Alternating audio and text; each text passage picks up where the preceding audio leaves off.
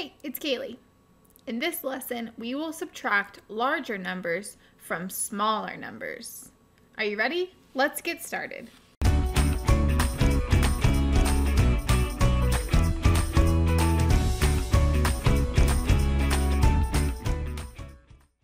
So in our first problem here, you'll see we have 88 minus 89. And you'll notice that our smaller number is on top. But remember in subtraction, we always have to subtract our smaller number from our larger number. If we're subtracting a larger number from a smaller number, we know our answer is going to be a negative. So what we can do is we can rewrite this expression as 89 minus 88. We just flip it around. But we also put a negative sign down here so that we remember that our answer is a negative. So we can say 9 minus 8 is 1, and 8 minus 8 is 0. So I don't need to put anything there.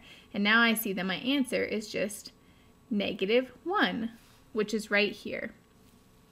The reason that we can just flip these around to be 89 minus 88 is because the distance between 89 and 88 will always be 1.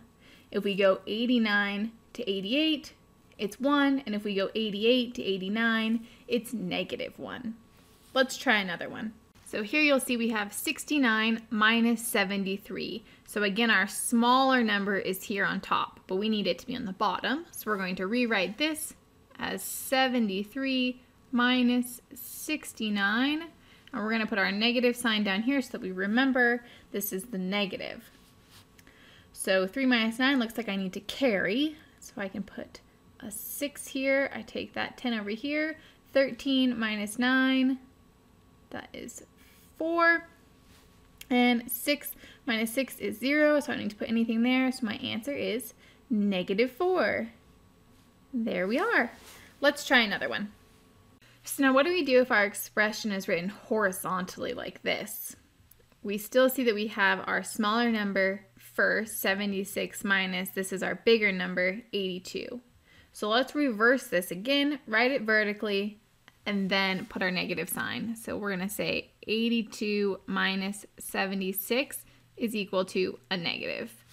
So we have 82 minus 76 is equal to, reminder that it's a negative. 2 minus 6 looks like I need to borrow. I put my 1 there. 12 minus 6 is 6 and 7 minus 7 is 0, so I don't need to put anything there. So my answer is negative 6. There we are. Great work.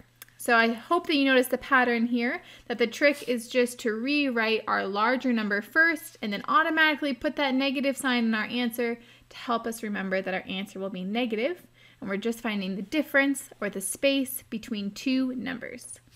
Great job. Keep practicing subtracting larger from smaller by doing the online quizzes and playing the game. Have fun and remember to always be clever. Hey, hey.